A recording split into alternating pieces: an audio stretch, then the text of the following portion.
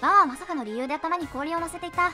メジャーリーグの2020年サイ・ヤング賞投手の肩書きを背負い今季 DNA に加入したトレバーバーは5月は防御率6点台と苦戦したが6月は4戦4勝防御率2.08と圧巻の成績をマークし月間 MVP にも輝いた。またオールスターにプラスワン投票で選ばれたバウアー。17日に投げると最長の間隔でも中2日となる20日のマウンドになるが中2日だと少し難しいと思うがポストシーズンで考えれば先発をして次の日にはブルペン入り。12イニングはありえる。そういう意味ではポストシーズンの予行演習というかそういう準備で投げることができる。と話した。一方日本の暑さについても言及。本拠地の横浜スタジアムでの試合中には氷のを頭に乗せることが話題になっているがこれにはあれをやるとネット上でいじってもらえる。と記者の笑いを誘う場面も。続けてもともと暑くて気温が上がる方がパフォーマンスも上がっていた。テキサスでずっと過ごしていて気温が高くて湿度も高かったので暑いのは慣れている。と日本の夏にも自信をのぞかせていた。どう考えてもヒンダで興奮専用に頭冷やしてるようにしか見えんかった。相当熱くなってると思う。それも1%くらいは可能性ありそう。野手陣はこれ以上バワーを怒らしたらあかんでいい。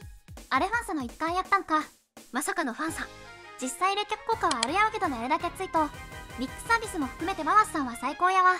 暑いからやない。んどこまでもプロ意識が高いこと尊敬します。いじってもらおうと意図的にやってたのか。ファンサマジンやん。これ可愛いからもっとやれやれ。てかもっと流行らんかなこれ。見ててマジで忘れる。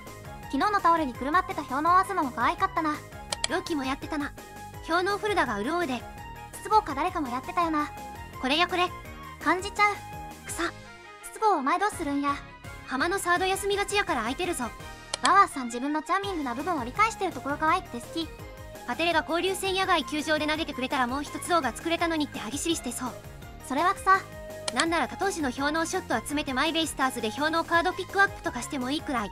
DNA ならやりかねない。折り当たりはやりそう。でもそこ京セラやからな本拠地。ドームが本拠地じゃないとこの方がいいな。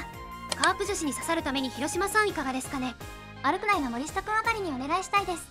氷のを頭に乗せるお茶目なバワー。YouTube で自撮りしてるバワー。試合中に吠えまくるバワー。どれも愛おしいんや。